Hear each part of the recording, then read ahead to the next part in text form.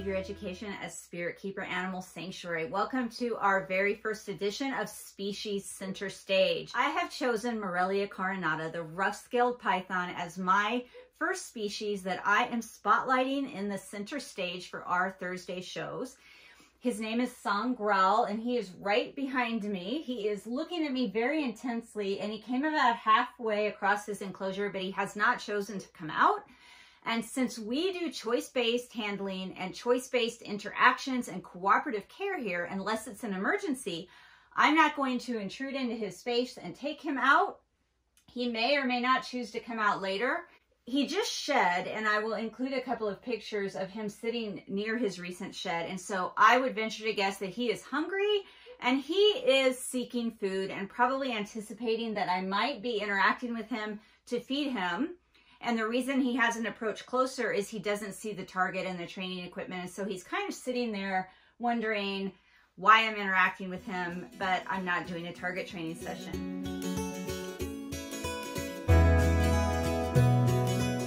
Most of the material I've included in this video has come from the More Complete Carpet Python by Nick Mutton and Justin Julander, which just came out in 2022 but I'm also going to list some additional resources in the YouTube description so you can check that out at the end of the video. And those sources are going to include a couple of other YouTube channels and a few other books and resources that I found online.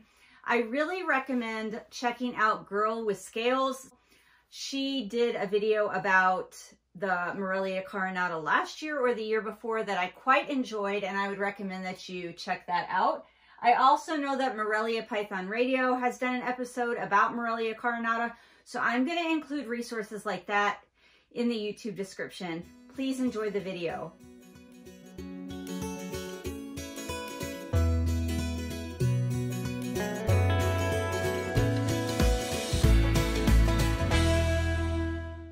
The taxonomic designation of the rough-scale python is Morelia carinata. Phylogenetically, it is in the Morelia clade and a sister lineage to carpet pythons, Morelia spilota, and to green tree pythons, Morelia viridis. Rough-scale pythons are brown with cream-colored irregular marks or jagged bands, and they have no black pigment whatsoever on their bodies. The shades of brown can vary and can lighten and darken within a few hours, and this is likely dependent on their environment. Rough-scaled pythons have a wide head that is distinct from the neck, which appears narrow in comparison to the head. They are very thin-bodied in general, with a length ranging from about 5 to 6.5 feet or 1.5 to 2 meters. They can also open their mouths really, really wide, displaying a wide jaw gape, and they have the largest anterior maxillary teeth of all python species. As is probably evident to you from their name, rough-scaled pythons have keeled scales, like those of a bull snake, a hognose snake, or a rattlesnake, just to list a few examples. They are the only python species with keeled scales. Rough-scaled pythons are semi-arboreal and saxicolous. They live in dense rocky gorges close to freshwater sources and generally become active after dusk, and they remain active throughout the night.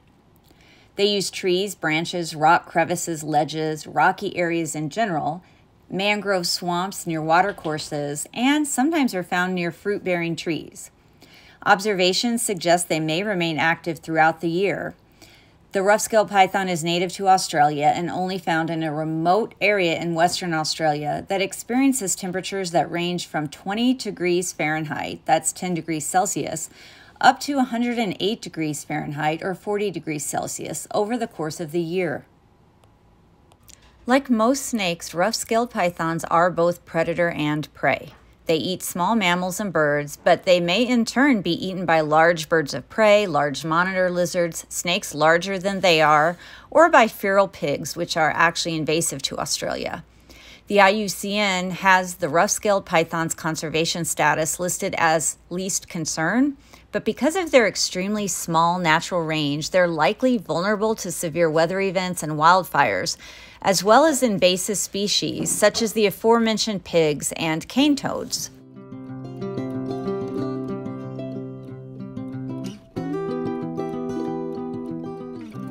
Our rough scale python Sangraal caught on very quickly to target training. This is a view from inside one end of his habitat.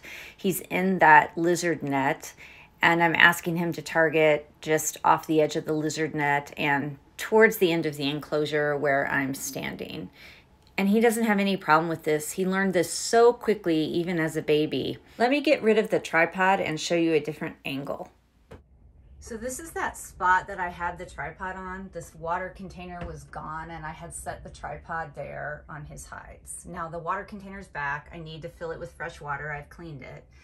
And he's finishing his meal. So I'm gonna set the tripod on something outside of his enclosure and see if I can't give you a better view of what he looks like during his second repetition because he's amazing looking. Love this snake. He's very cool. This is Morelia carinata, a rough-scaled python. So I've opened the other side of his enclosure, Sangraal's enclosure, and I'm going to see if he would like to target this direction so that you can get a better view of him.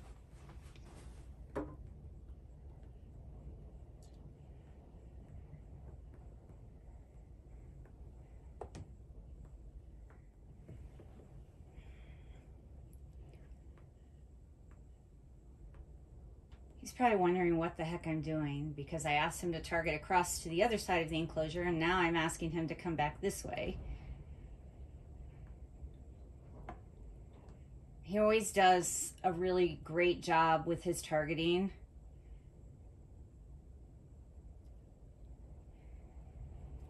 He usually has good impulse control. He usually thinks through things. He's he's always been a good learner since I got him. He came from Ralph Polinski at Midwest Serpentarium, and I've just been happy with Sangraal from day one. He picked up the training really quickly. He's just been a fantastic snake. He is a fantastic snake to have, both to work with as a trainer and just as a family member, as a pet. And he's gorgeous. I love his deep, dark, chocolate brown color. Really cool snake, really cool species. If you're not familiar with them, Morelia carinata. So look them up, do some research, use your brain. Tell me what you learn about them in the comments. The fast facts I shared with you at the beginning of this video, I got from the More Complete Carpet Python by Nick Mutton and Justin Julander, which is my go-to resource for Morelia. They're obviously called a rough scale python because they have keeled scales and they are the only python species with keeled scales. Really cool. Feels like touching my bull snake, Rodney.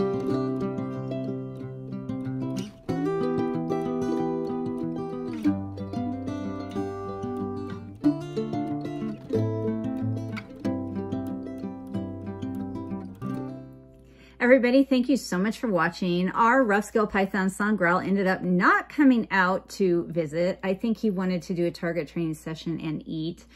But one of my corn snakes, Nissa, wanted to come out of her enclosure, as did TC, my super dwarf reticulated python, and two of my Morelia Bredli are out and about roaming around. So I have plenty of snakes out, even though Sangraal chose to stay in his enclosure and just look at me out the door. Until next time, everybody please remember to always be kind and love your animals.